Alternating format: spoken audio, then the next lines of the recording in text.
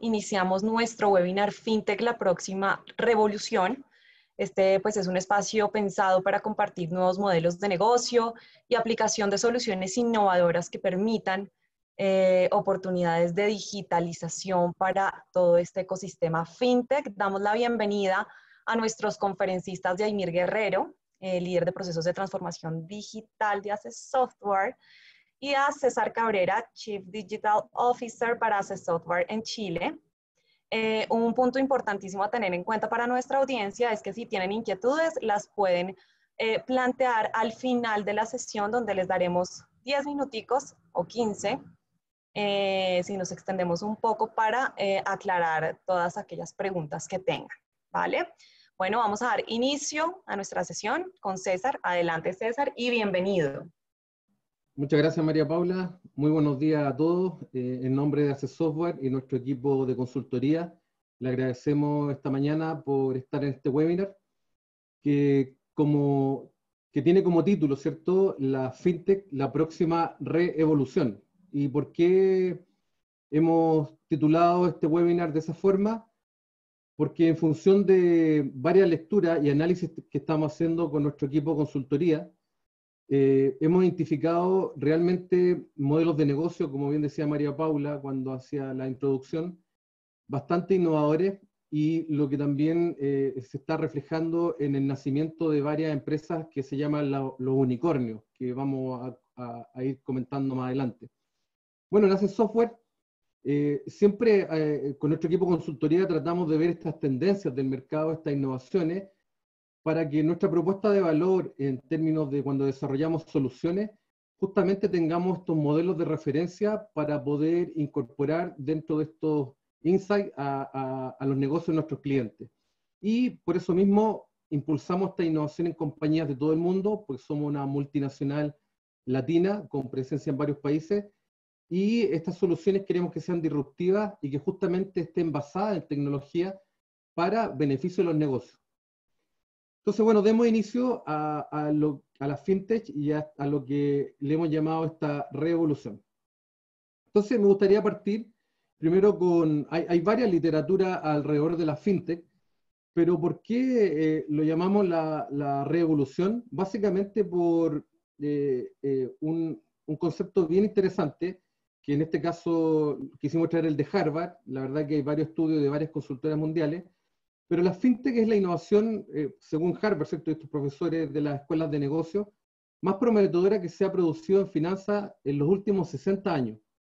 Desde la llegada a la tarjeta de crédito, al igual que la tarjeta de crédito transformó el sistema de pago, ¿cierto? En todo el mundo, la fintech mantiene la misma promesa, si no mayor, de hacer lo mismo desde la forma en que se paga un café, hoy día lo vemos, ¿cierto?, con varias aplicaciones en, Chile y en varios países eh, del mundo, hasta la forma de invertir, eh, casi eh, prácticamente sin fricciones, con un clic, a un clic de distancia.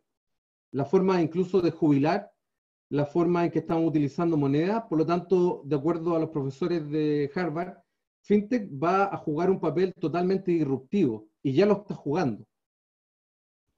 Por otro lado, también eh, un estudio de Price eh, Consulting habla de cosas bastante interesantes de que eh, el sector de servicios financieros es donde hoy día se están produciendo la mayor cantidad de, disrupciones. Y esto principalmente apalancado por modelos de negocio innovadores, pero con base tecnológica, que justamente es donde viene esta palabra de la fintech, ¿cierto? de finanzas con tecnología. Y el 2019, eh, un estudio muy interesante que también, eh, como les digo, con nuestro equipo de consultoría, tratamos de ver todos estos estudios, leerlos y ver cuál es el potencial que hay para nuestros clientes.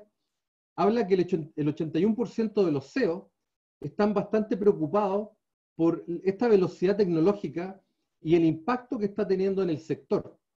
Y, y uno de los principales eh, resultados de este análisis es que el 28% del core business de los negocios de banca y de pago de la banca tradicional se identifica que están en riesgo, en riesgo en el sentido que están apareciendo otros actores, que en este caso son las fintech, que justamente están tomando una parte de esta torta que antes era exclusivamente para la industria de la, de la banca establecida. Y durante mucho tiempo estos nuevos participantes, que son las fintech, en el mercado les resultó bastante difícil ingresar en la industria de servicios financieros porque las instituciones grandes y bien establecidas que, que llamamos los titulares, ¿cierto? La banca tradicional, tenía ventajas en tamaño, tenía eh, en sus redes, eh, tenía el efecto multiplicador también y contaban con sólidos sistemas de cumplimiento para gestionar las regulaciones que son ¿cierto? cada vez mayores en la industria de, financiera. Sin embargo, eh, en esta base de clientes eh, y, en estas condiciones económicas eh, que son difíciles, donde se busca competencia, es justamente donde, han entrado en este espacio de competitividad las fintech. Bueno, entonces, ¿por qué surgen principalmente las fintech? Porque hoy día la banca, si bien ha tenido mucha iniciativa de lo que llamamos transformación digital, la verdad que aún no ha sido totalmente eh, transformadora y exponencial los cambios, y por eso eh, hoy día la banca tiene muchos puntos de fricción. Entonces, si, si nos damos, traemos al ejercicio algunos de los servicios financieros más típicos, como ah, crédito hipotecario, como contratación de seguro de cualquier tipo, la banca todavía tiene bastantes fricciones, bastantes problemas, sin pensar en todas, eh, eh, los, por ejemplo, en el caso de las TI, todos los sistemas legados, por lo tanto cuesta mucho a, lo que el, el, negocio quiere, que es el time to market, ¿cierto? Es a partir de nuevas ideas y de nuevos productos y servicios poder salir rápido al mercado. Y justamente ahí surgen eh, las fintech, apalancado con modelos de negocio innovadores, de nuevo, ¿cierto? Tecnológicos, porque también las condiciones de la tecnología han cambiado. Tenemos acceso, por ejemplo, hoy día a servicios cloud como Amazon, como Azure, como Google, como Huawei, que permiten explorar relativamente rápido, equivocarse rápido, ¿cierto? Y temprano y probar distintos modelos de negocio. Y además, estos modelos de negocio están centrados completamente en la experiencia del cliente y a un clic de distancia que hoy día justamente nos permite la movilidad. Y eh, justamente estos puntos de fricción de la banca tradicional, que como, como bien digo, han hecho intentos muy interesantes de esta banca digital, todavía hay muchas fricciones. Piensen que acá en Chile, por ejemplo, todavía existen los motoboy, donde nos traen los contratos, donde se firman todavía a mano y nos sacan la huella digital y, muy poco han avanzado en, firma digital.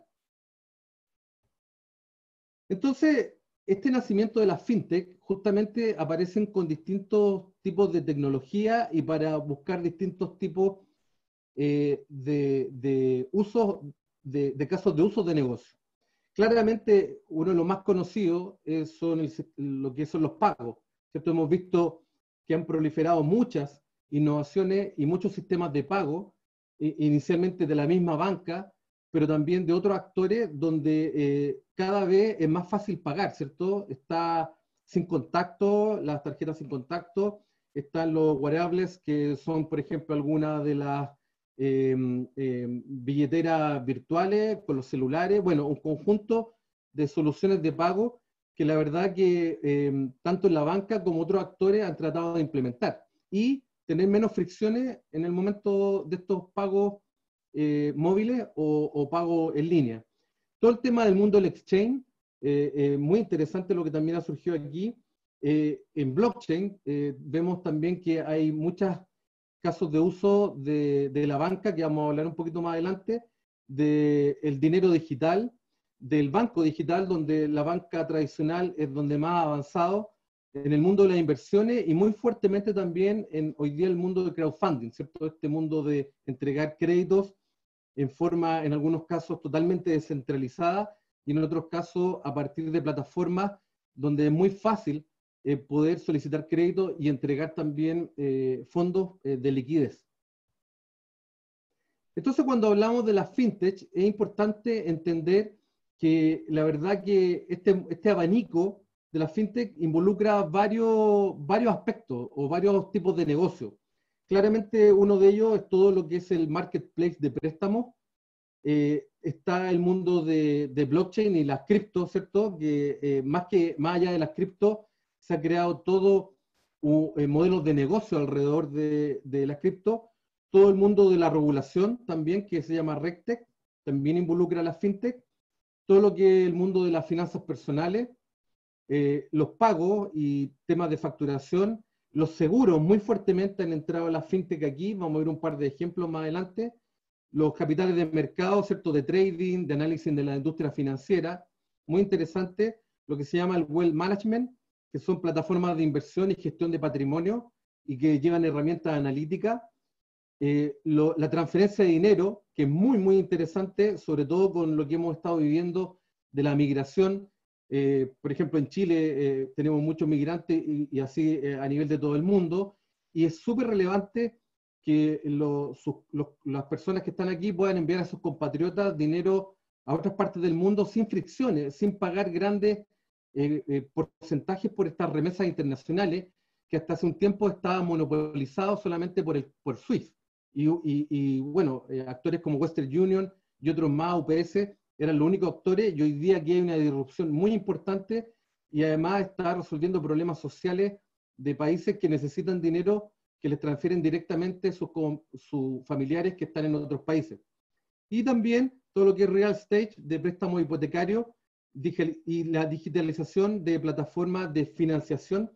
Eh, entonces, todo este abanico finalmente es lo que hoy día llamamos eh, la industria fintech y que sigue Insights que uno de los informes que hemos eh, estado analizando nos permite entender dónde estos, eh, cuáles son los negocios que abarca. Esto cada vez va creciendo más y cada vez se están incorporando otros aspectos, pero esto diría yo que abarca gran parte de, de lo que son las fintech. ¿Y qué ha estado pasando últimamente? O que uno dice, bueno, ya, pero ok, fintech. Bueno, es tan eh, grande el negocio de la banca, es tanto las posibilidades y el tamaño del mercado, que también han proliferado lo que llamamos los unicornios, ¿cierto? Aquellas empresas o startups que eh, a partir de su modelo de negocio y el uso de tecnología han pasado a tener valorizaciones bursátiles de mil millones de dólares y más. Hoy día eh, tenemos eh, dentro del espectro de este informe de City Insight ya 67 unicornios del lado de la fintech. Hay muchos unicornios de otra industria, que imagínense, estas 67 fintech están valoradas hoy día en 252 billones de dólares, de negocios que prácticamente hace dos años atrás o tres años atrás no existían y, principalmente han identificado estas oportunidades y, se han eh, valorizado productos que resuelven un problema de lo que comentábamos de la banca tradicional. Entonces, esta estos unicornios están distribuidos en varias partes del mundo, principalmente en Norteamérica, sabemos por todo el tema relacionado a, Silicon Valley, pero muy fuertemente, y, en, este último, diría yo, este último año, también China está siendo un actor muy relevante, no solamente por el tamaño del mercado, sino que también porque hay muchos venture capital que están instalándose y están justamente potenciando esto, estas fintech. En Latinoamérica, lamentablemente, eh, junto con, África y otros, y otros continentes, todavía es incipiente.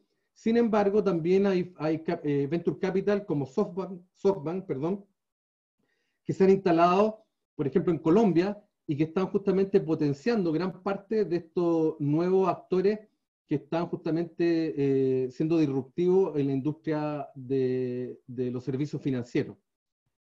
Y bueno, esto, estas fintech o esta startup, eh, muchas de ellas hay, hay, una mezcla entre negocios tradicionales y startup, eh, está mapeado en este informe de CV Insight, que son 250 eh, empresas que están agrupadas en distintos sectores, en, en finanzas, en capital de mercado, en temas de regulatorio y compliance, en real estate.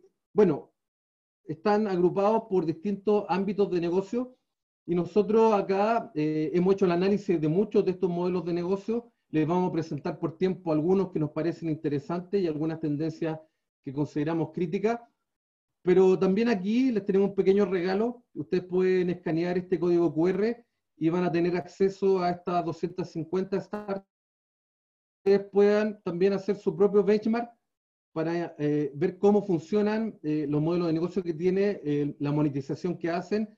Por lo tanto, también les dejamos disponible y, y, nos pueden escribir porque nosotros hemos hecho un barrio completo con nuestro equipo de consultoría para justamente entregar estos insights en, en nuestros clientes actuales de, de, algunos referentes del mercado. Y parte de las 67 unicornios están dentro de estas 250. Así que ahí está el código QR para que lo escaneen y, puedan analizar esta planilla Excel.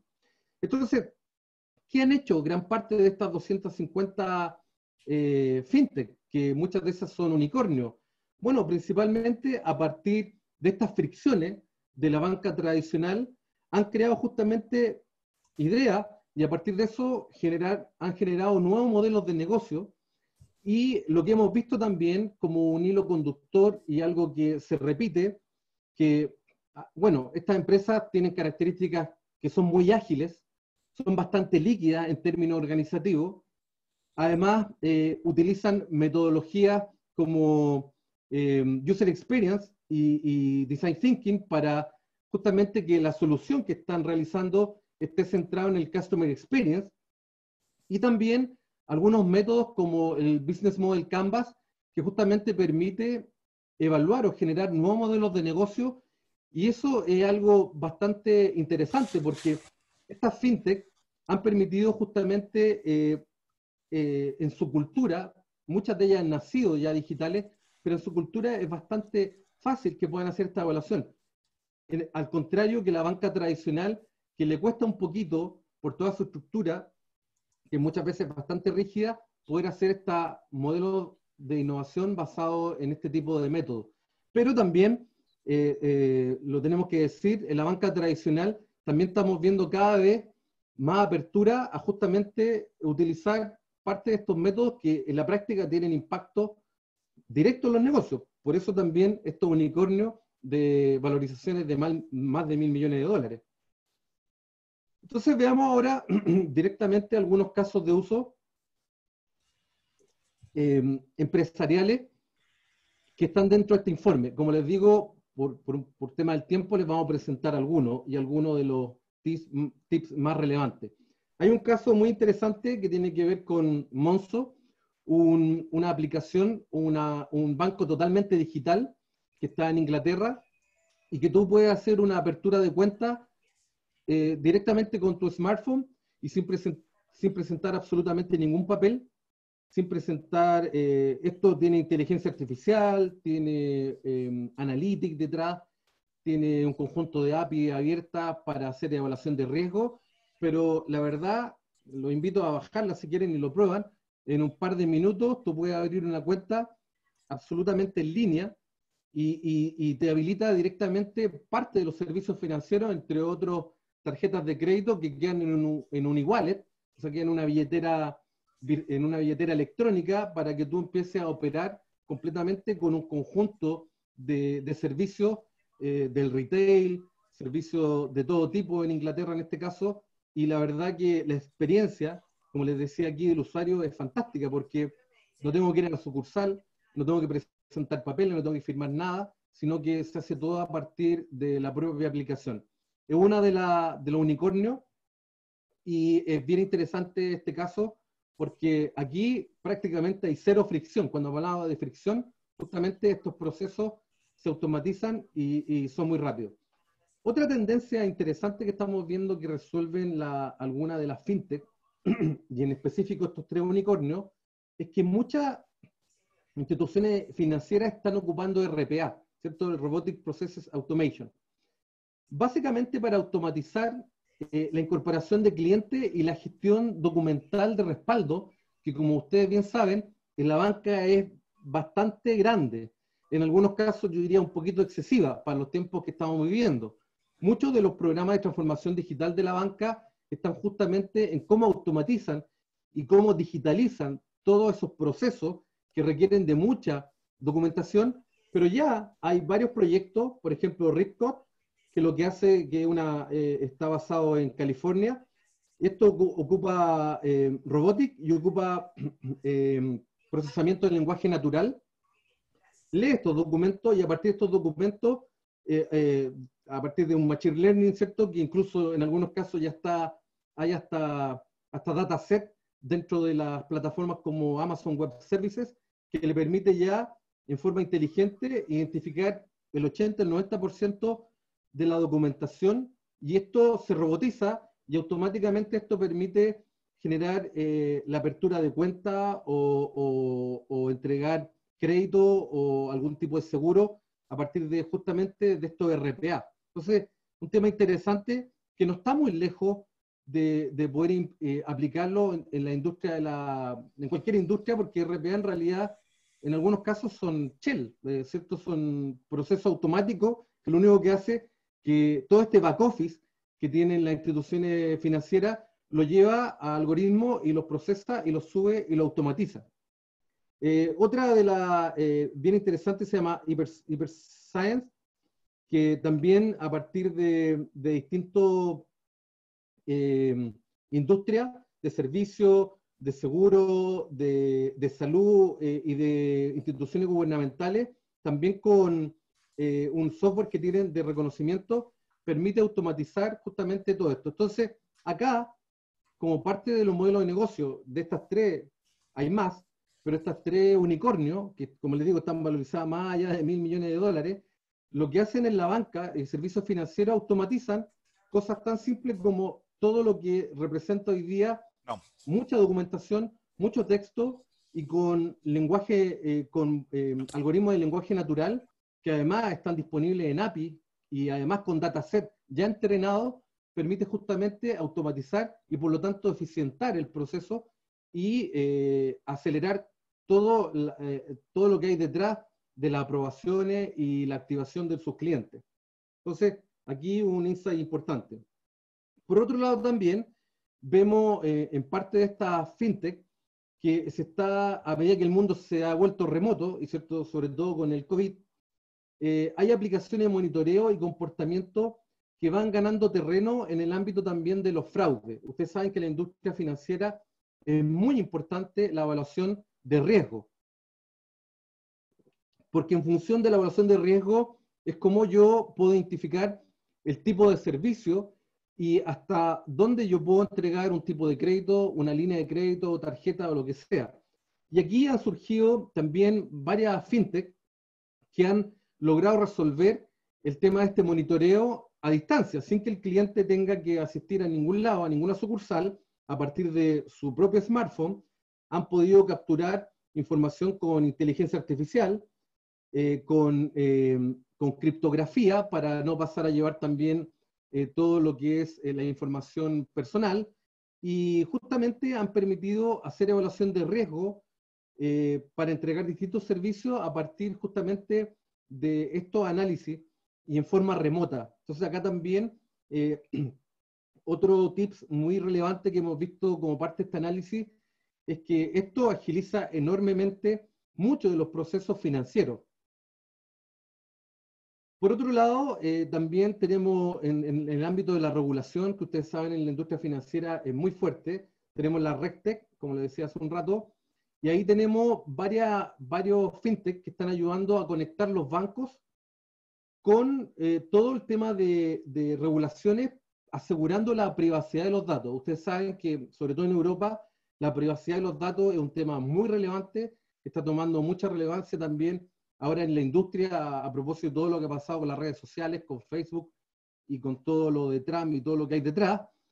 Y aquí todo el tema de identidad y lo que se llama el identity management, han aparecido muchas eh, eh, fintech que justamente resuelven de la regulación por un lado, asegurar la privacidad de los datos y cómo yo le entrego a la banca, que justamente necesita esta información de forma incluso en algunos casos anonimizada, cuando se pueda, porque eh, la banca sabemos que tiene que siempre conocer a su cliente, pero aquí han surgido también fintech muy interesantes, que lo que están haciendo con Machine Learning están identificando justamente eh, y con inteligencia artificial eh, justamente la identidad del cliente y la información propia de ese cliente, como por ejemplo los créditos que tiene como por ejemplo el tipo, los, los pagos que hace, y mucha información, pero ya el cliente no tiene que volver a repetir 10 veces cuando va a distintas instituciones financieras, sino que toda esa información propia de la evaluación crediticia o la evaluación de servicios financieros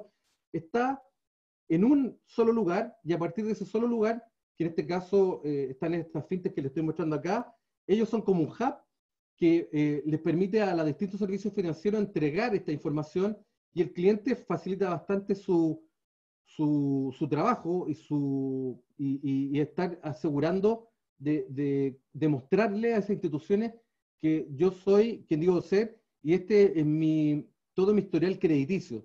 Y eso también está bien interesante porque además lo, lo, otro eh, que hemos visto también es que hay una portabilidad que yo podría tener esa información moviéndome en distintos actores financieros. Entonces, también un tips muy relevante.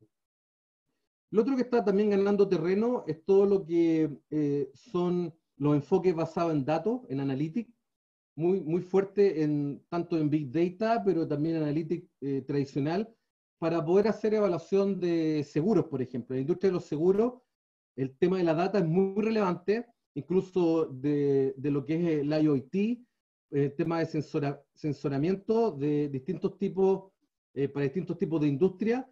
Y aquí también eh, estamos viendo que en el caso de algunas fintech que utilizan muchos de estos datos, ya sea estructurados y no estructurados, permiten justamente entregarle a la banca distintos perfilamientos en función de estos datos que muchas veces también están anonimizados,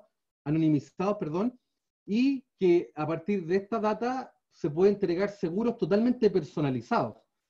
Y, y en función, por ejemplo, de seguro automóvil, del tipo de conducción, de las veces que tú has recorrido, de los kilómetros que lleva, bueno, etcétera.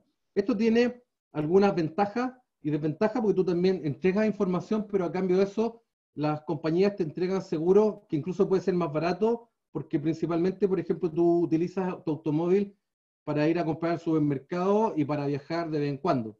Por lo tanto, también muy interesante lo que están haciendo las fintech, sobre todo en el tema de, de, de negocios basados en data.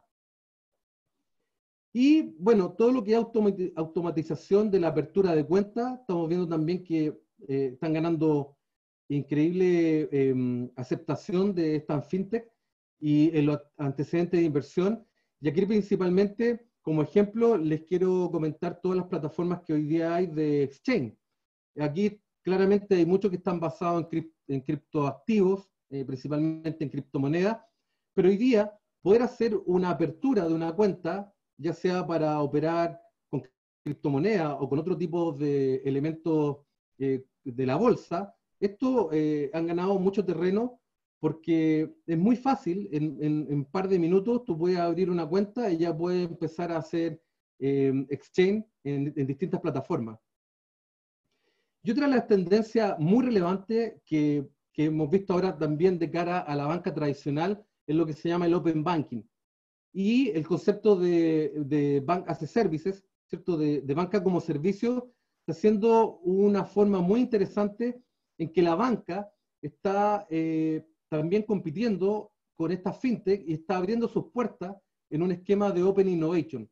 Y aquí, eh, en un informe también que hemos analizado de Business Insider, eh, justamente habla que las fintech están pagando alguna un fee por, por tener acceso a esta banca como servicio. La banca justamente identifica distintos tipos de servicios con sistemas legados y, las deja disponibles a partir de API. Y resulta que esta fintech, a partir de esa API, con colaboración con la banca, genera nuevos modelos de negocio que les permite justamente, como son más ágiles y pueden explorar más rápido, eh, eh, sacar modelos de negocio a partir de esta colaboración y de esta API que hoy día está la banca. Algunos de los ecosistemas muy interesantes que se están abriendo son los que, los que les presento acá. BVA es uno de, los bancos que está muy fuertemente trabajando en estos nuevos modelos de negocio a nivel mundial y claramente es una forma para mantener la competitividad de la banca tradicional sin necesariamente crear una fintech, sino que a partir de esta apertura de esta API, ¿cierto? Aquí eh, quise también eh, traer eh, un, pequeño esquema de lo que propone Price, que en el fondo es como eh, tenemos una fábrica de integración del punto de vista de la banca.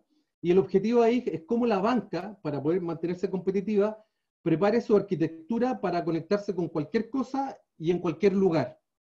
Y ahí eh, la banca tradicional, que tiene muchos requisitos en términos ¿cierto? de seguridad, puede colocar como capa todos sus protocolos de seguridad, de infraestructura, de data, pero después a partir de esta banca como servicio permite generar esta apertura de API para que otra empresa, como por ejemplo la fintech, puedan justamente eh, apalancar servicios financieros nuevos o existentes eh, con el uso y por, y por lo tanto monetizar y crear nuevas fuentes de ingresos. Entonces, esta flexibilidad para las instituciones financieras hoy día eh, es crítico. Y, eh, como les decía, en este mundo de la API también tenemos distintos grupos que también están en el informe que, que hemos identificado. Ya estamos analizando con algunos potenciales clientes, tanto de la banca tradicional como fintech, de cómo justamente aprovechamos este ecosistema de cosas que hoy día son activos, son activos digitales que tiene la organización, en este caso la banca, y cómo esos activos digitales permiten justamente unir estas piezas a partir de esta apertura con la seguridad y con todas estas capas que les mostraba hace un rato atrás. Eh, en el mundo de los pagos, ustedes saben que hay un ecosistema ahí gigante eh, también están dentro de estos actores y dentro de estos informes. Eh, sin entrar mucho en detalle, aquí les quiero comentar todo el mundo de los micropagos. La verdad que aquí eh, hay un mundo de generación de ingresos nuevos y muy grande. En el mundo, por ejemplo, de los juegos, ustedes saben que ahora los juegos, algunos se están entregando gratis, pero lo que hay detrás de eso son micropagos a partir, ¿cierto?, de avanzar en etapas, de comprar armas o avanzar, etcétera, en lo que sea. Y la, y la verdad que ha generado un increíble em, ingreso a, a compañías y a, a, fintech que han tenido la capacidad justamente de incorporarse esos micropagos y hacerlo sencillo, transparente, a veces mucho, porque a veces los hijos de repente aparecen con la factura con los padres y dicen, mira, debo esto porque estaba jugando. Y dice, bueno, ¿cómo te gastaste tanto dinero? Eh, por otro lado, eh, por ejemplo, WeChat, que está eh, en la plataforma china, tiene prácticamente todo con micropago y, sin, y cero, con cero restricciones y con cero fricciones. aquí les quiero mostrar un pequeño video para, por ejemplo, una de las empresas que está también resolviendo el tema de pago en forma bastante sencilla. Oh, me salté. Aquí voy de nuevo. Corre video. Making an international payment with Flywire is simple. Just enter your information and get your payment instructions. Then send your payment to Flywire. Once we receive it, we'll notify you and the recipient that the funds have been delivered. Let's get started. Select the recipient for your payment.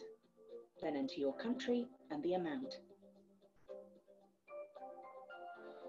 Choose the payment method you want to use. Then enter some information about your payment and review your payment instructions. Most payments, including bank transfer, can be completed online. You may also be able to make a bank transfer over the phone or in person at a branch. You'll have two business days to pay. Once you've sent your funds, you can track your payment online. Questions? Flywire support is available by email, phone, or live chat. We'll notify you that your payment is complete as soon as we receive it. Then we'll forward the funds to your recipient, keeping you updated along the way.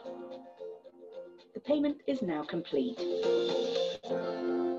Entonces acá un ejemplo concreto de una fintech que está valorado justamente en, un billón de dólares y eh, resuelve, eh, es como una especie de pasarela de pago, pero lo que hace en forma muy eh, nativa y orientada al usuario, que a partir de distintos medios de pago, justamente puede hacer transferencia y pago en cualquier parte del mundo, básicamente sin fricciones. Entonces, muy interesante lo de Flyware. Por otro lado, también eh, en el mundo de, de, blockchain está habiendo un interés bastante interesante en la industria de la financiera, incluso en la industria DeFi, que les voy a contar un poco más adelante.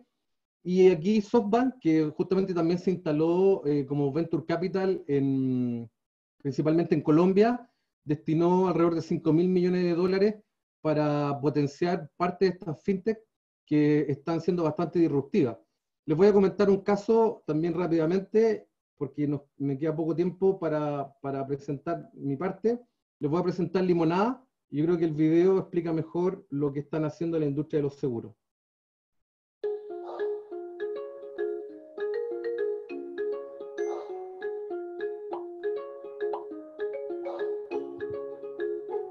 Bueno, lo que hace Limonada, mientras ven el video, combina inteligencia artificial con blockchain para ofrecer seguro a inquilinos, eh, a, propietarios, o sea, a los que arrendan o a propietarios, a partir de 5 dólares y 25 dólares mensuales respectivamente. Entonces, esta aplicación de seguro, eh, que, está, que tiene como base la tecnología blockchain, eh, entra en el juego a partir de contratos inteligentes. Estos contratos inteligentes son las cláusulas que firmamos en un seguro típico donde aparecen todas las condiciones y cuando se activan distintas cosas. Lo que hacen los contratos inteligentes es que esto, como dice, lo activa a partir de código y se activan en forma de eventos de negocio. Entonces el modelo de negocio cobra una tarifa fija eh, donde cada pago mensual se asigna al resto de las reclamaciones de los seguros. Y cuando usted realiza un reclamo, esto en forma inteligente verifica esta pérdida que usted tiene en el, hogar, un televisor, se le echa a perder un, equipo musical, lo que sea, y rápidamente, eh, a partir de eso, eh, en un par de segundos, eh, a usted le llega automáticamente, a partir de este reclamo, con inteligencia artificial, con fotografía, con identificación de su rostro, directamente el valor de lo que implica eh, el haber roto ese televisor o haber roto un vidrio o lo que sea. Entonces, eh, Limonada eh, es un caso muy interesante que, como les digo, incluso fue votada como la número uno de las 270 compañías de seguro a nivel mundial. Y esto se hizo a partir de blockchain e inteligencia artificial.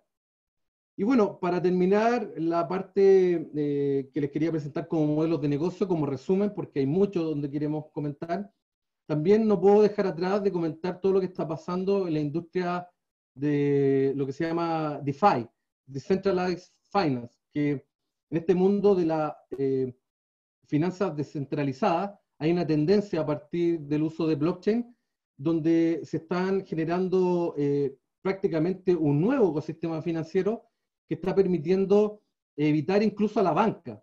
Ya aquí eh, está sin intermediario y yo, por ejemplo, la industria más eh, común que está siendo hoy día utilizada en DeFi es la industria de los préstamos, donde yo directamente hago préstamos, está el prestamista y el prendatario, y hacen intercambios directamente en forma peer-to-peer. -peer, y la verdad que esto puede parecer una burbuja, pero está tomando una relevancia y está generando modelos de negocio muy innovadores en la industria de las finanzas. Esto da para toda una charla nueva, que quizá lo vamos a hacer más adelante, pero no quería dejar por último de comentar esto porque también va a ser una disrupción muy importante dentro de la industria financiera.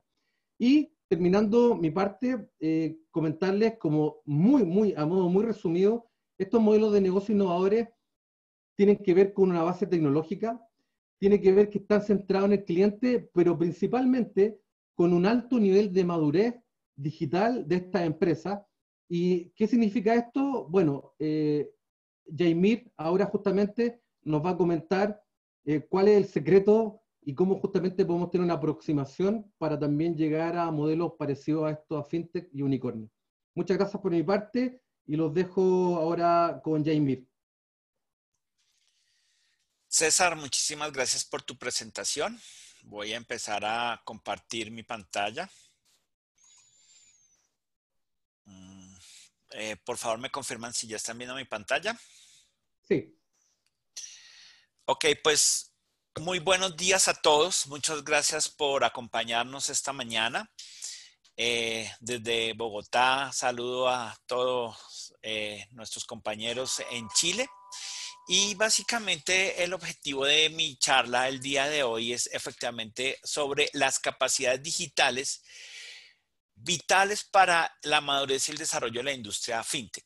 Eh, en Asesofar somos miembros de Colombia Fintech, lo cual pues nos permite conocer de la mano lo que pasa en esta industria y tener ya casos de éxito alrededor de los temas de las fintech.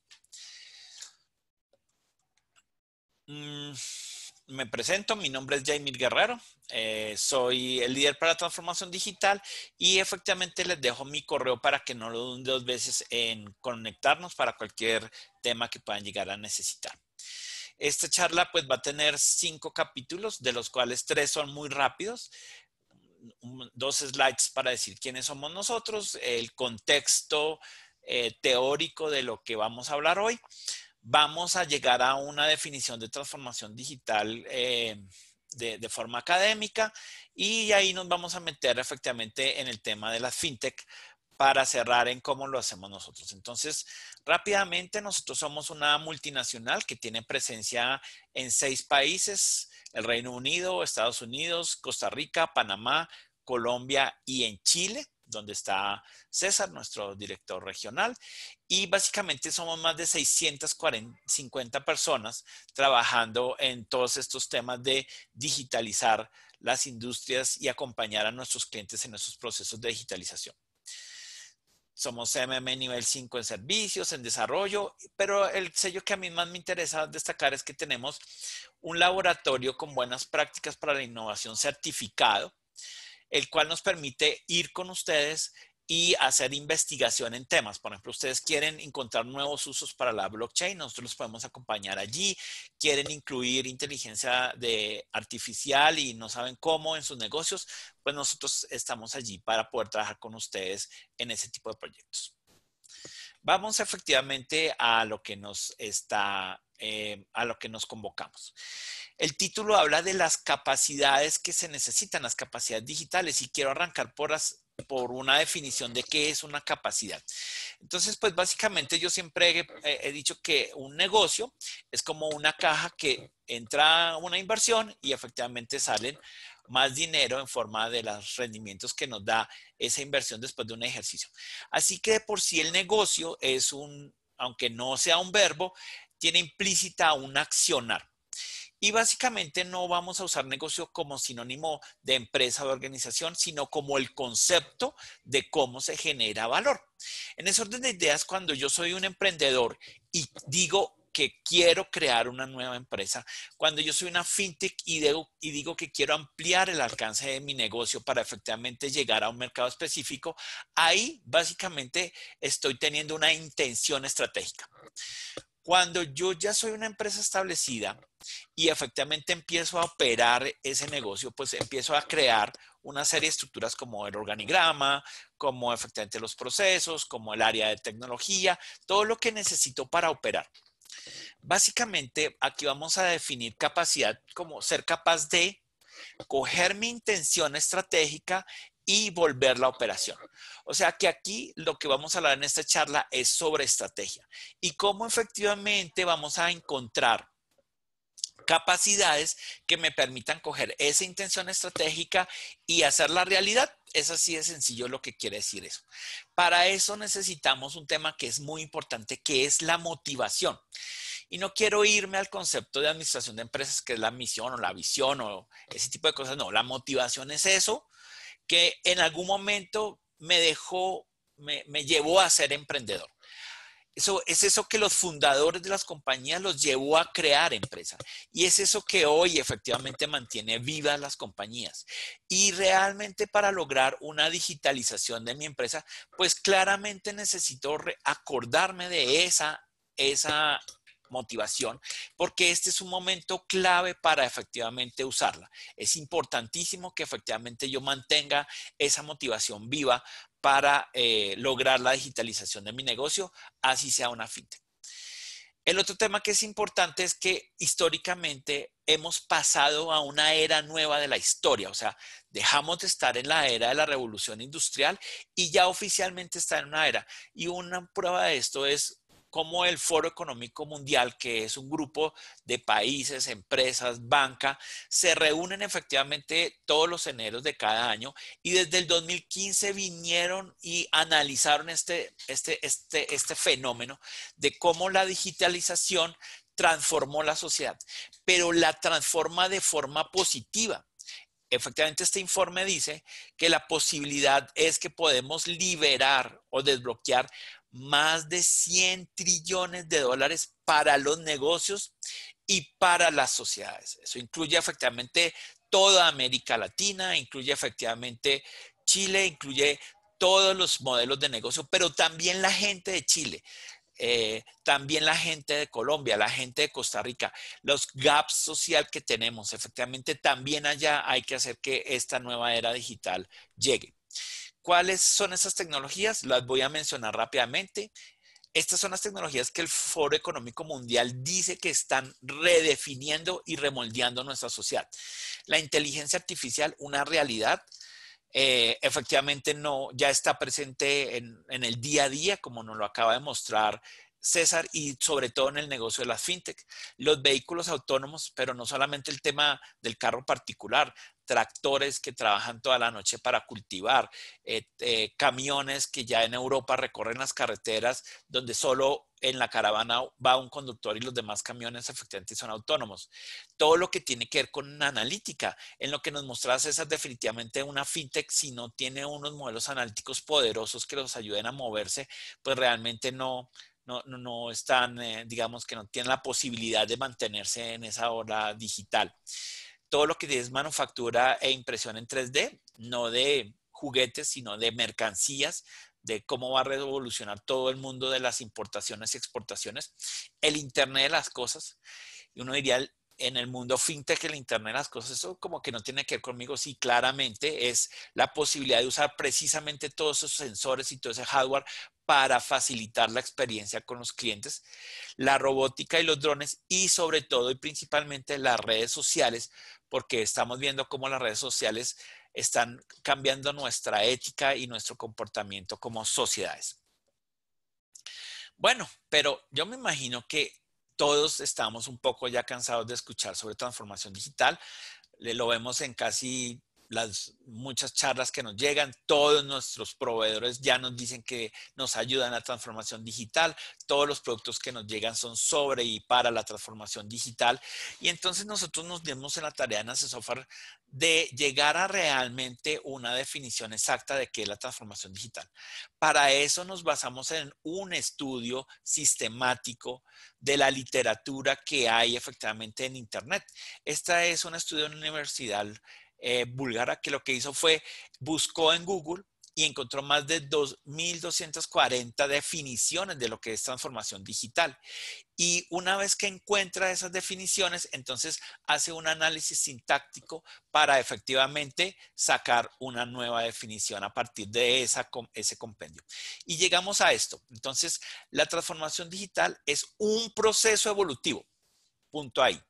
Entonces, no para es parte, o sea, yo como fintech no es que ya terminé o en algún momento voy a terminar mi proceso de transformación, no. Y es un proceso que evoluciona, pero evoluciona para qué? Para utilizar mis capacidades, las que yo ya tengo como empresa, y la tecnología eh, acordemos que las tecnologías son las siete que acabamos de ver que menciona el Foro Económico Mundial. ¿Para qué? Para que los modelos de negocio de mi negocio, los procesos operacionales y las experiencias de los clientes generen valor. La experiencia con el cliente. Entonces, la transformación digital, aparte de hacerme más eficiente, debe tener un foco que es importante y es la experiencia de los clientes con mis productos y mis servicios. En ese orden de ideas es, es importante decir que no es, dado toda la publicidad que hemos visto pues no es un proyecto, o sea, no tiene principio y fin, o sea, en ningún momento yo me voy a meter en mi proceso de digitalización y acabé. No, señor, eso no tiene fin. Un documento o una herramienta no es que yo voy a hacer el estudio de la transformación de mi empresa o voy a comprar el software o la herramienta que me va a transformar. No es exclusivo de las grandes empresas, entonces y en el mundo fintech sí que se ha dado esa leyenda urbana. Ah, no, los que se tienen que ir a transformar son los bancos, que son los que vienen del siglo pasado. No, todos nos tenemos que transformar. Pequeñas y medianas empresas también deben transformarse. La transformación digital no es solo para la empresa de tecnología o el área digital. Esa es otra leyenda urbana, ¿no? Eso es allá de las empresas de software o eso es de la vicepresidencia de tecnología y mire a ver usted cómo nos va a llevar esa transformación no es porque yo transformo mi modelo de negocio, transformo mi operación y me focalizo en mis clientes. Y eso no lo puedo lograr desde el área de tecnología. Tiene que ser una estrategia de la empresa. Y lo más importante, y en esto creemos firmemente, no es igual para todas las empresas. Entonces, no es que yo tenga, por ejemplo, la Asociación de FinTech de Chile y están todos allí sentados y entonces yo copio y pego la fórmula mágica con las cuales las empresas se están transformando. Esto no es así. Cada empresa tiene su motivación y como cada empresa tiene su motivación, la de sus fundadores, pues en su momento cada empresa entenderá cómo se debe transformar y hacia dónde quieren mover sus modelos de negocio. La transformación digital no es más que una transformación humana, como lo dice el Foro Económico Mundial y como lo cita Greg Steele en este, en este artículo. Y básicamente la transformación debe estar centrada en las personas. Y para nosotros como FinTech, en dos grupos de personas importantes. En mis clientes y en mis empleados también. Entonces, yo necesito empezar con mis objetivos de negocio.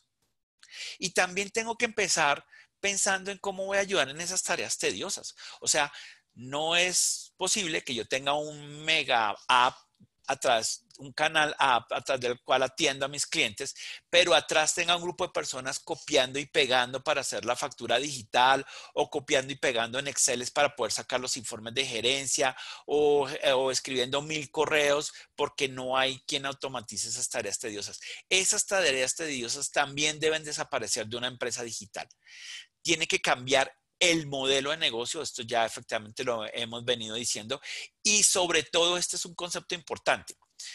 Desafortunadamente, las personas de mi generación vimos muchas películas de ciencia ficción donde vemos a un Terminator que llega a la Tierra para matar a los seres humanos y eso, mal que bien, ahora nos cuestiona frente a la inteligencia artificial que esto viene a quitarme mi trabajo. No, señores. La inteligencia artificial, los modelos analíticos, el blockchain, toda la tecnología que hay hoy, están aquí para una sola cosa y es para ser parte de mi equipo. Entonces, mi equipo es Luis, César, María Paula y un robot de inteligencia artificial que nos ayuda a conseguir nuestros objetivos como área o como organización. Tengo que ver la tecnología como ese, ese, ese miembro del equipo de trabajo. Entonces, la transformación digital es un proceso evolutivo, pero no puede ser que sea como como que yo sea como un pedazo de madera ahí flotando en el mar, dejándome llevar por las horas. No, yo tengo que ser es como el surfista que me subo sobre esa nueva ola y la surfeo, la navego para efectivamente ir a donde yo quiera. Por ende, la tengo que medir no puedo dejar que todos estos, fenómenos me golpeen. La tengo que medir y la tengo que gobernar. Y para eso necesito tener madurez digital, entender qué tan maduro estoy, qué me falta, qué más tengo que complementar. Y tengo que adoptar un modelo de madurez digital, que realmente qué es? Pues un, un conjunto de dimensiones y criterios que me permiten medir esa madurez.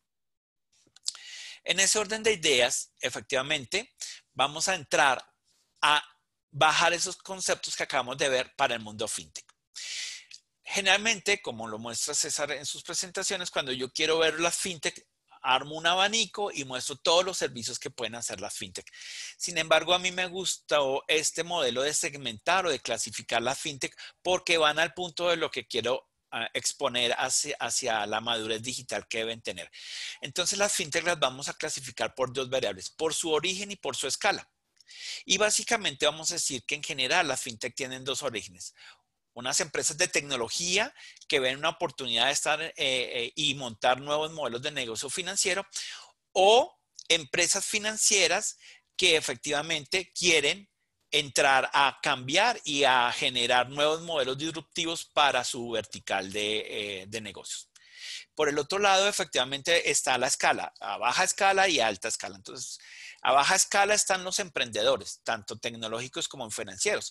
Y uno en el mundo fintech encuentra muchas empresas que son ex vicepresidentes, expresidentes de bancos, de empresas de seguro, eh, mandos medios que dicen, no, voy a gritar independencia y voy a moverme y voy a aprovechar este fenómeno fintech para realmente crear mi propia empresa. Pero por el otro lado están en el mundo de la tecnología un Facebook, un Google, un Apple que realmente hoy prestan servicios financieros basados en tecnología y que aparte de eso tienen ecosistemas de 100, eh, 200 millones de usuarios a nivel mundial.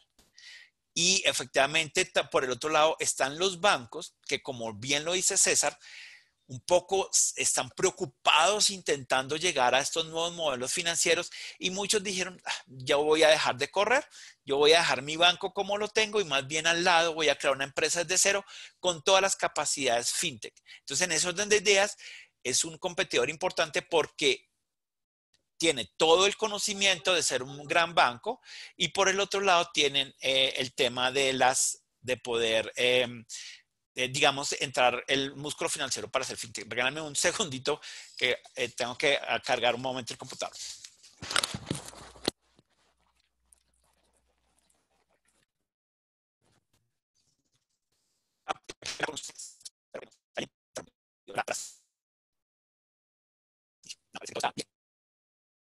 Bueno, en eso, ah, perdón este título me fascina, porque claro, con el coronavirus están hablando de la nueva realidad. Pues para el mundo fintech la nueva realidad es real, como lo muestra efectivamente César en su exposición. Hay unas plataformas que son ya 100% digitales, digital first, que es un concepto que vamos a explicar ahora, son ya no tienen procesos operativos que no sean digitales. Entonces, en esos orden de ideas, eso ya existe. Parte de la banca tradicional se transformó, ya es ya esa división entre la fintech y el sector financiero se está borrando.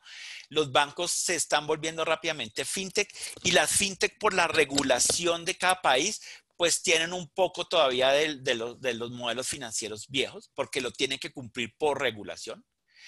Pero el otro tema es que las grandes tech están aquí.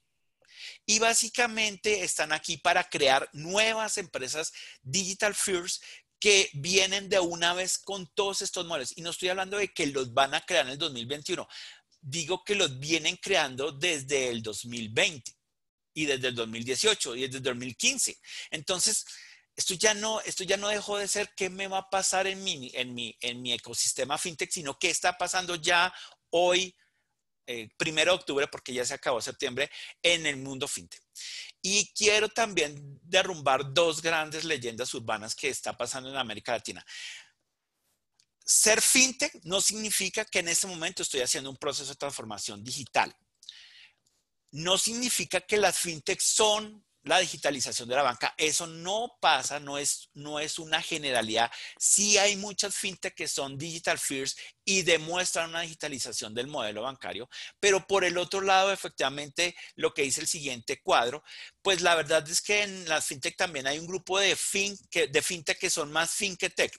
O sea, son un, grupo de empresarios crearon la fintech y la tecnología con la que la hicieron fue un producto mínimo viable, nació efectivamente su proceso de maduración como startup, como emprendimiento.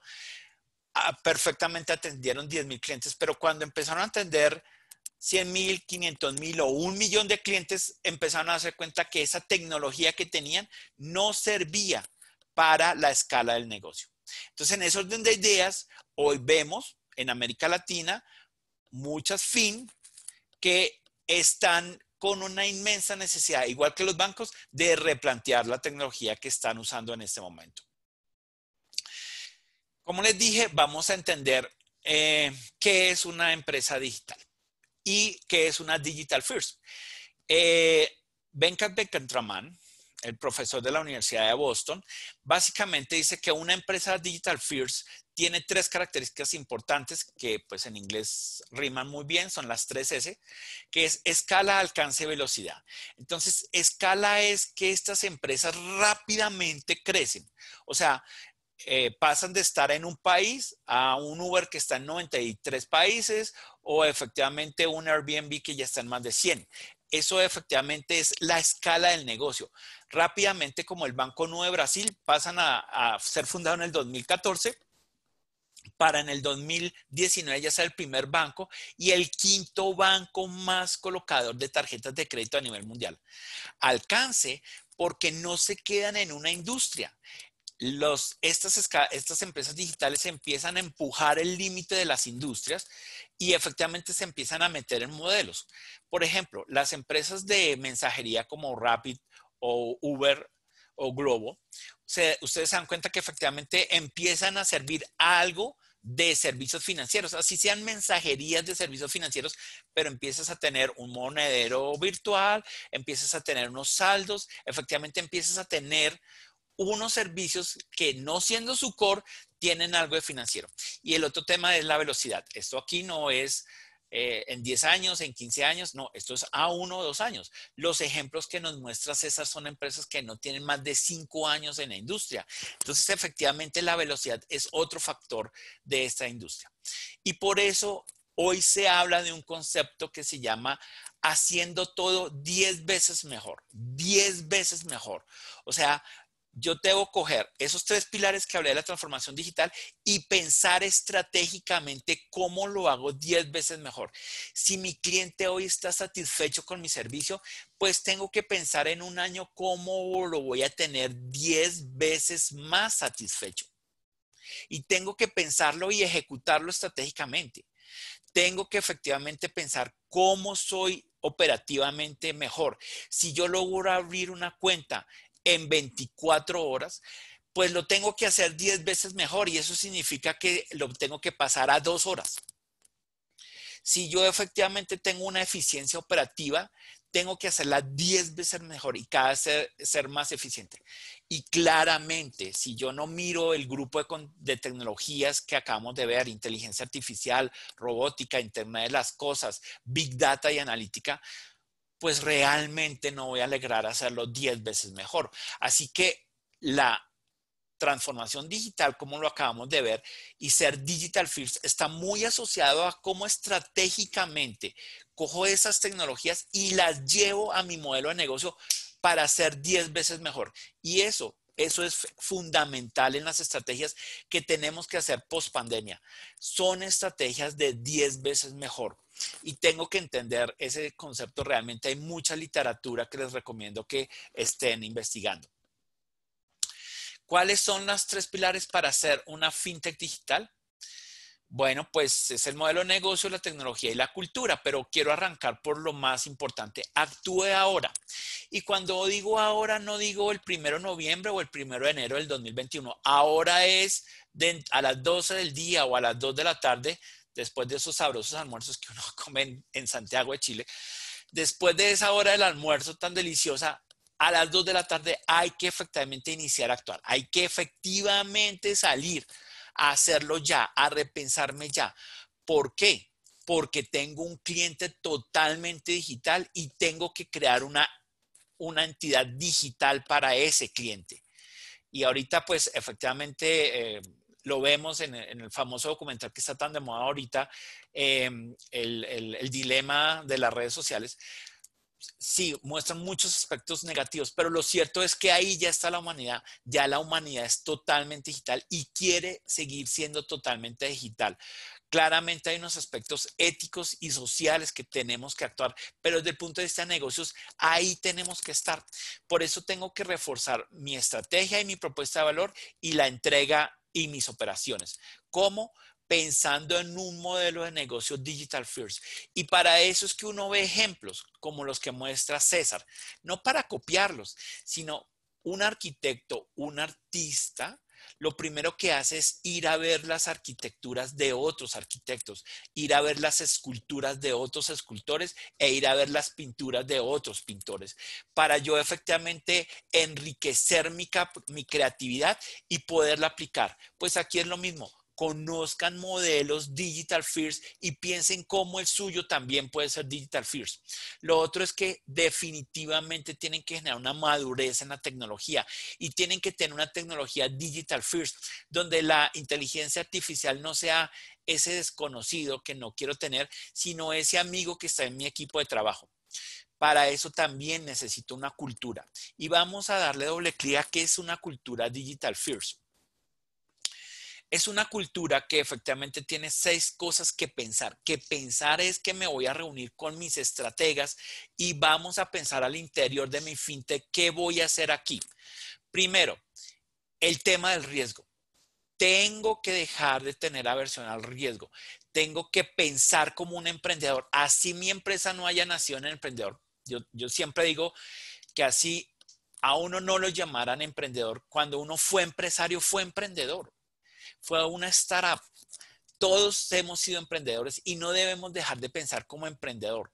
Y efectivamente, ¿qué significa eso? Experimentar, pensar en que pueda ser un nuevo modelo de negocio, ir a buscar nuevos mercados rápidamente. Por eso necesito una cultura ágil. Pero esto no tiene nada que ver con Scrum ni las metodologías para administrar proyectos de, software. No, es un agilismo en mi modelo de negocio, en mi operación. Es un agilismo que está efectivamente en el ADN de cada uno de los procesos de mi compañía. Yo siempre traduzco eso, este tercero, como tengo que dejarme de ver el ombligo. Tengo que mirar hacia afuera. Y el primero que tengo que mirar es en mi cliente. Tengo que ser obsesivo entendiéndolo. Entonces, los datos que tengo en mis bases de datos no son suficientes. Ahí es donde la, analítica tiene tanto valor. Tengo que salir a buscar datos de mi cliente en otro lado. En los programas de datos abiertos de mi gobierno, que Chile tiene uno muy bueno. En todas las fuentes de datos públicas que yo puedo tener sobre el comportamiento de mis clientes. Y principalmente tengo que ir a entender las redes sociales para entender a ese cliente tengo que efectivamente tener una cultura de experimentación, pero no experimentar para que salga bien. En Uber, el 87% de los experimentos fracasan, pero ese 12% es oro puro porque yo cojo efectivamente las lecciones aprendidas y ya sé que lo que sale de esa experimentación efectivamente va a ser disruptivo y va a salir hacia adelante tengo que ser muy proactivo y dinámico y dejar a un lado esos, esos empleados y compañeros que no hacen sino decir, sí señor, efectivamente, como usted diga, jefecito, no. Yo necesito el que viene y me reta como jefe, el que quiere realmente mejorar su puesto de trabajo. Ese es el que me sirve más que el que me dice siempre sí, señor.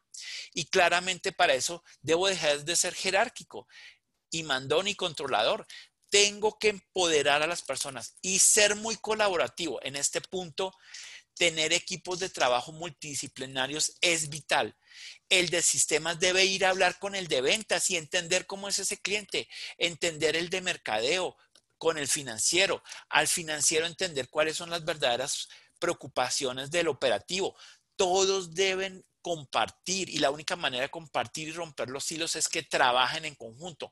¿Haciendo qué? Haciendo estos experimentos. Estos experimentos no se tienen que hacer allá en el área de experimentación, no.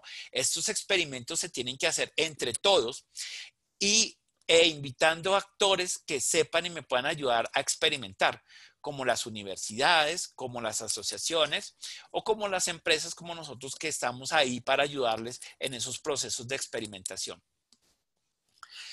¿Cuál es la regla de oro para cambiar la cultura? Tener una visión que compartamos. Esta es la, yo eh, me gradué de administrador de empresas por allá en 1990 y ese momento era la regla de oro y todavía sigue siendo la regla de oro ya casi, pues, más chica, 30 años después. Es básicamente pensar en que todo este grupo humano tiene un objetivo, lo quiere y empuja hacia allá. El famoso chiste de Steve Jobs que se metía en un ascensor y le preguntaba a la gente para qué hacía su trabajo, pues resulta un poco pragmático, pero la verdad es esa. Yo necesito que todo el mundo empuje hacia ese objetivo. Por eso necesito una visión una estrategia clara para que todo el mundo se sienta identificado qué vamos a hacer y qué vamos a hacer, acuérdense, a partir de las 2 de la tarde de hoy. Básicamente tengo que generar valores. Tengo que saber cómo esas personas se van a compartir comportar para poderles dar esa autonomía. Y para eso, en vez de reglas, les doy valores. Y tengo que insistir en los valores de mi organización, tengo que manifestarlos, tengo que resaltarlos, tengo que eh, socializarlos con todo mi equipo de trabajo. Y para eso también necesito no eh, una estructura sólida, sino una estructura donde pueda gobernar y medir a partir de iniciativas que empujen esta estrategia. Las iniciativas de la organización deben, deben empujar esta estrategia de forma activa. El otro pilar que efectivamente queremos resaltar es convertirme en la fintech que la gente ama. Mi cliente tiene que quererme y quiere que quererme para hacer transacciones a través de mi modelo. Y quiero enfatizar en esta frase, hoy, octubre, después de esta pandemia, es ese momento histórico en que mi cliente espera que usted esté ahí para él. O sea, la economía se necesita reactivar. Y si el sector financiero no es incluyente, pues las fintechs sí tienen que serlo tienen que mirar al pequeño y mediano comerciante, tienen que mirar a estos pequeños empresarios que se han visto golpeados tras seis meses de para y quién sabe cuánto más esté haciendo falta. Así que este es el momento en que usted, si quiere que la gente lo ame, este es el momento en que usted tiene que estar para ellos, tiene que estar para su cliente y entender cuáles son los, problemas que en Chile y en Santiago hoy tiene ese cliente. Por eso tengo que tener una estrategia genuinamente centrada en el cliente. No un contestador telefónico, un chatbot que diga que, que usted es lo más importante para mí, me demore 10 minutos en una interacción con los chatbots que al final no hacen nada y después de 10 minutos yo siga sin resolver mi problema. Porque sí, hoy las fintechs son muy expeditas en el proceso de vender y de captar nuevos clientes. Pero ¿qué pasa en el momento del reclamo? ¿Qué pasa cuando hay un error? ¿Qué pasa si mi aplicación falla? Ahí también el cliente necesita que usted le dé efectivamente un sistema, un servicio de primera calidad, donde el cliente sienta que también ahí él es lo más importante, no solamente en el momento de la venta, sino en los otros momentos. Por eso, claramente me tengo que centrar en, ese, en esos momentos, entenderlos, entender esos momentos cuando mi cliente interactúa conmigo, cuáles son esos momentos y si hay fricciones en ese momento, si hay algo que no está bien, como, que, como lo que decía César, que yo tenga que mandar un mensajero en una moto para que recoja una huella digital o que me toque ir a sacar mi documento de identidad en una fotocopia al 150% o que efectivamente a mí me toque tener los tres últimos recibos de las últimas transacciones. Por eso efectivamente el Journey Map es una herramienta muy efectiva y queremos mostrarles Journey Maps de verdad no de los que uno copia y pega en el libro, sino efectivamente de los que hacemos aquí en Hace Software.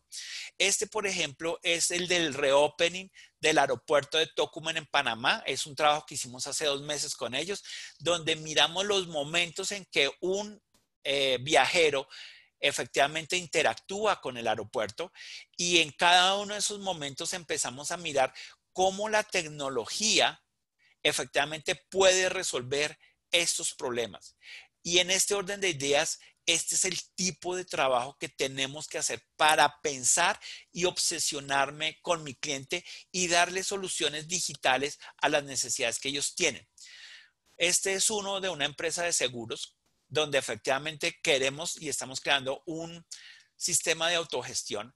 Y entonces efectivamente lo que miramos es ese proceso de reclamación cuando ocurre un problema y miramos cómo son las emociones del cliente y cómo ese cliente efectivamente ha interactuado con la tecnología actual, tanto en el front como en el back-end, y cuáles son las oportunidades de mejora y qué deberíamos efectivamente hacer eh, en esas oportunidades de mejoras. Pues de este trabajo, ¿qué sale? De este trabajo sale que yo efectivamente puedo hacer prototipos de los sitios web, puedo hacer prototipos de las aplicaciones, que, están aquí arriba. Ay, perdón. Y aparte de esos prototipos que están aquí arriba, bueno, me, me, volvió un 8 con el, con el scroll, puedo determinar cuál es la arquitectura de la solución para este tipo de proyectos. Entonces, miren cómo efectivamente de ir a entender cómo funciona este cliente, ah, miren, aquí están los prototipos, ah, no, estos no son los prototipos, los prototipos, pero quiero hacerles ver cómo de entender ese cliente, yo bajo hacia la tecnología y no al revés. No es que hago una tecnología a ver cómo le sirve al cliente, sino entiendo un cliente para mirar esa tecnología, cómo efectivamente lo va a impactar a él. Y ahí efectivamente es cuando yo hago un journey map, no por hacer el ejercicio, sino porque genuinamente quiero entender ese cliente cómo va a usar la tecnología con nosotros. Finalmente, la transformación digital no se trata de tecnología, se trata de estrategia y una nueva forma de pensar. ¿Cómo pienso? Pues efectivamente con experimentación y con innovación para usar esa tecnología e, y reimaginar el negocio y reinventar el core de mi propio modelo de negocio.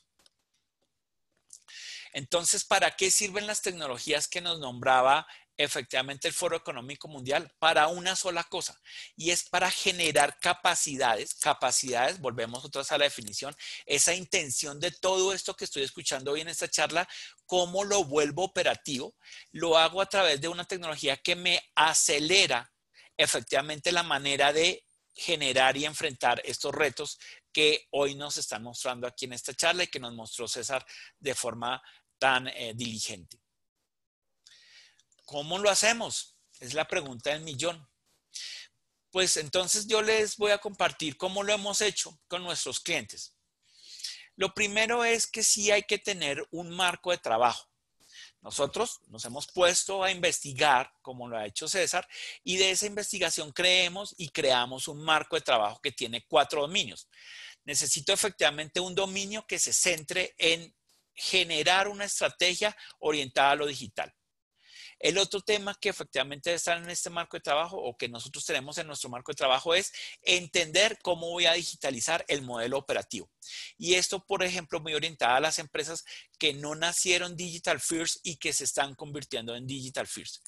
El otro es cómo a partir de la experimentación y la innovación podemos encontrar nuevas oportunidades para el crecimiento digital de nuestros clientes y generar habilitadores que creen estas capacidades. Creemos que esos habilitadores son cuatro. Una cultura organizacional, como lo les he ido mostrando, el uso de los datos para tomar decisiones, no para ver reportes, sino para que hayan decisiones basadas en datos. Efectivamente, todo lo que tiene que ver con la generación de la capacidad de la tecnología y un modelo de innovación abierta que me ayude a interactuar con un ecosistema y co-crear con ellos soluciones para mi negocio. Para eso, efectivamente, hay que también efectivamente definir un proceso. Nuestro proceso tiene cuatro grandes etapas. Un tema de descubrir, el cual incluye saber cómo estoy, entender en qué momento de la transformación digital está mi empresa un diseño de la aproximación, porque si la transformación de mi empresa no es la misma de la de al lado, pues lo primero que tengo que diseñar es cómo voy a hacer esa transformación yo, para poder empezar a imaginar un futuro de forma consciente, qué es lo que, hasta dónde deseo llegar, cómo quiero hacer esa transformación, y la salida de eso claramente tiene que ser un mapa de ruta que no es más que un portafolio de proyectos que me van a llevar efectivamente hacia esa transformación digital. Tengo que actuar, porque desafortunadamente hay muchas consultoras muy buenas que me ayudan a hacer muy buenos mapas priorizados y muy bien estructurados, pero a la hora de hacer lo que salió, a la hora de aplicar esa estrategia, es donde efectivamente vemos eh, que en nuestros países hay un gap importante, sobre todo en las pymes. Por eso efectivamente el actuar incluye pues hacer los proyectos, crear esos activos digitales, generar los gemelos digitales de mi negocio y efectivamente llegar a aprender de ese primer ciclo para ser capaz de repetirlo.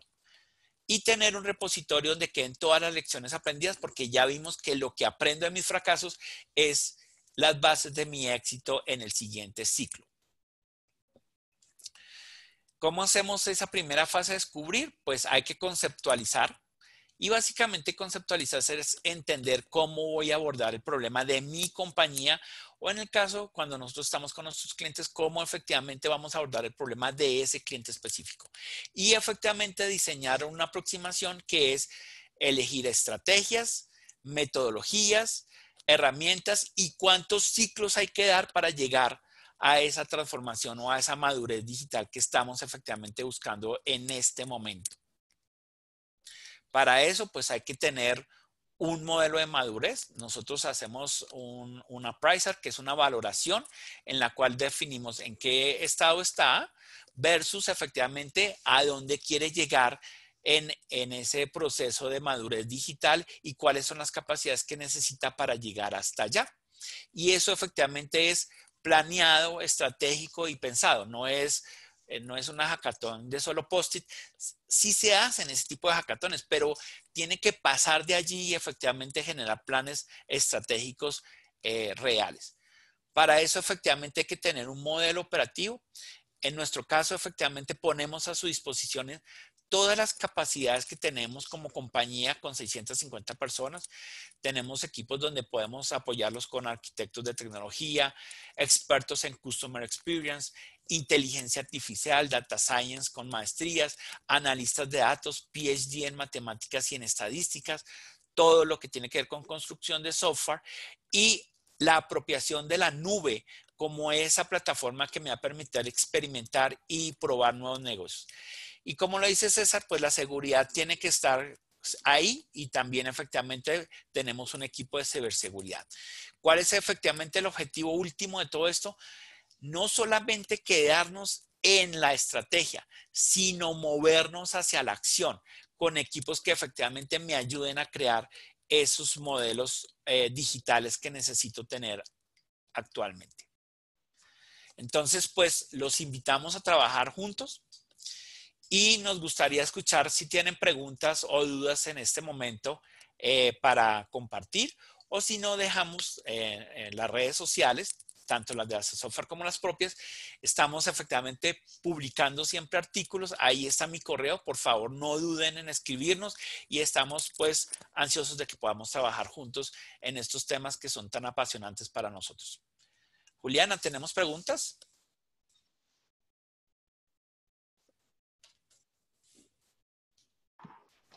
Listo, muchas gracias, Jaimir, Jaimir y César, a ambos, eh, por su intervención. Sí, tenemos, tenemos preguntas.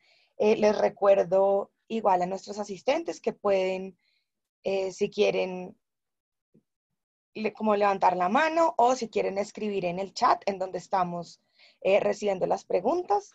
Acá mm, nos está diciendo Hugo Alberto, excelente presentación. Acá tengo entonces la primera pregunta que nos llega es, ¿cómo funciona la priorización de actividades para iniciar un proceso de transformación digital para una fintech? ¿Tienen una metodología concreta para nativos digitales? Sí, eh, a, esa pregunta la respuesta es sí. ¿Cómo se hace la priorización? Una vez que se han identificado el gap entre lo como estoy hoy y a donde quiero llegar, siendo un nativo digital, en algún caso yo, yo también quiero mover, por ejemplo, el alcance de mi modelo de negocio. Entonces, cuando se identifica ese gap, se sacan los proyectos y las tareas que hay que hacer para cerrar el gap. Y en ese orden de ideas es que se prioriza alineado con la estrategia de la compañía y la visión que tienen. Y eso es lo que efectivamente entrega ese mapa de ruta para salir a ejecutar ese plan. Esa es la manera como nosotros lo hacemos en nuestro, en nuestro modelo. Sí, ahí yo agregar a lo que dice Yaimir, que nos ha resultado bastante bueno lo que presentaba que los Journey Map. Por ejemplo, eh, hemos hecho ya con FinTech algunos ejercicios en los cuales ellos tenían un modelo, tenían incluso una aplicación, tenían una forma de monetizar. Y lo que nosotros hicimos con nuestro equipo de Customer Experience, hicimos con metodología de Design Thinking, hicimos el Journey Map, identificamos algunos puntos de fricción, identificamos también algunas oportunidades con algunos referentes, y esos referentes es parte también del estudio que hacemos con nuestro equipo de consultoría. Entonces, creo que uno de los valores agregados que, que tenemos es que justamente tenemos puntos de referencia que si bien no vamos a copiar, como bien decía Jaimir, nos va a dar un buen eh, insight y a partir de eso definir los mínimos productos viables, definir eh, equipos de desarrollo ágiles y hacer prototipos en forma temprana, incluso en, principio sin codificar nada, con mockups, y ahí ir a, ver qué tal el mercado eh, está de acuerdo o no con este nuevo approach. Ha sido bastante interesante eso y con resultados bastante concretos y bien efectivos. Perfecto, César y Jaimir, mil gracias, quedó clarísimo. Acá eh, Hugo Alberto escribió otro mensaje que decía que muy claros los conceptos, así que pues se los hago llegar. La segunda pregunta que tenemos es, eh, ¿el crecimiento exponencial es lograble cuando se aceleran esos procesos de madurez? ¿Qué haría falta? Pues como, como, como lo vimos en la presentación, realmente efectivamente hay hay que tener los tres pilares bien, bien cimentados. Pero para mí un factor clave de lo que hemos encontrado en América Latina, aparte de todo lo que hemos dicho, eh, eh, tecnología, todo este proceso de Customer Experience, es dos cosas que resaltaría. La cultura organizacional, o sea, realmente estar en una cultura eh, basada en la experimentación y abrir a las ideas de, todos nuestros, eh, de, nuestros colaboradores. Y el otro tema es genuinamente, o sea, realmente de corazón, ir a conocer a nuestros clientes. Esos dos aceleradores, como lo dijo César en la respuesta anterior, cuando yo entiendo a mi cliente y lo estudio y lo analizo, eso acelera muchísimo el crecimiento porque efectivamente me lleva a crearle nuevas posibilidades y nuevos servicios que no solamente la tecnología, sino el servicio que está implícito en el uso de esa tecnología. No sé, César, si tú tienes como complementar ahí. Alineado a lo que dice, más, por ejemplo, hoy día todas estas plataformas de Amazon Web Services, Azure, Google, Huawei, tienen aceleradores por sí en las propias API.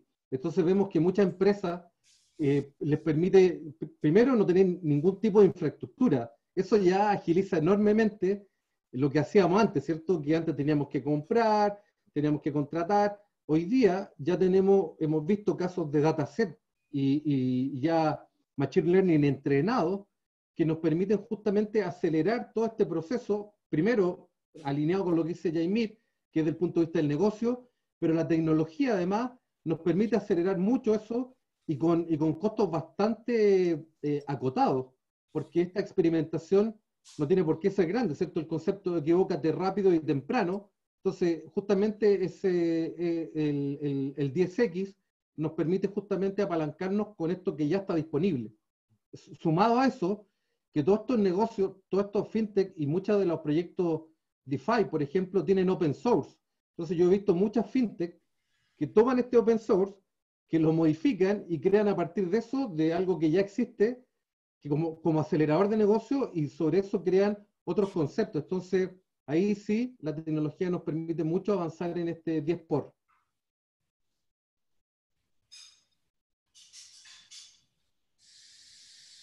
Listo. Y por acá tenemos eh, otra pregunta, no menos importante, em, que hace referencia un poco a si la implementación de procesos de madurez digital debería ser parte de la planeación estratégica de las fintech. Y de ser así, si ustedes lo consideran que sí, ¿cómo creen que debería involucrarse ese proceso?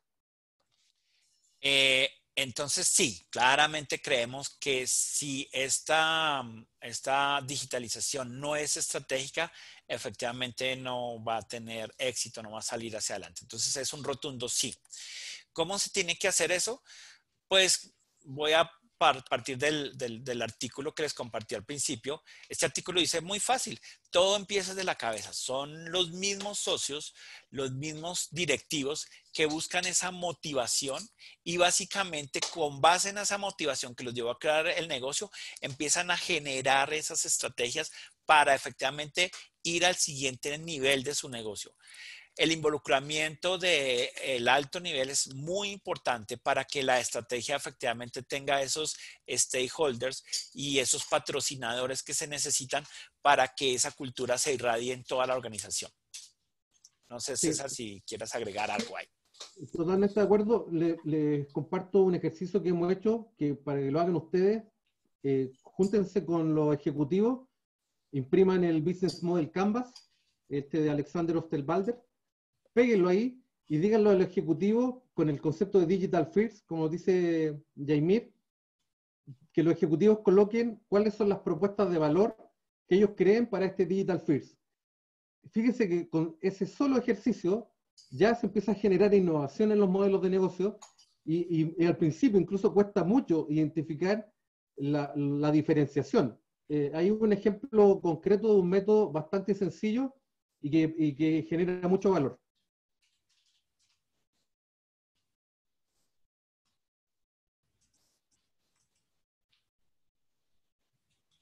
Perfecto, muchísimas gracias, César. Em, acá tenemos, bueno, eh, le, le, voy a responder yo a José Rojas, que nos está diciendo que si vamos a compartir la grabación de este Zoom. Eh, así es, José, nosotros enviamos un correo electrónico con las memorias y en ese correo encuentras em, la, la, grabación del video de la, de del Zoom y adicionalmente vas a encontrar las presentaciones que tanto César como Jaimir eh, pues nos compartieron hoy acá. Entonces, pues la idea es compartirles a ustedes todo el material.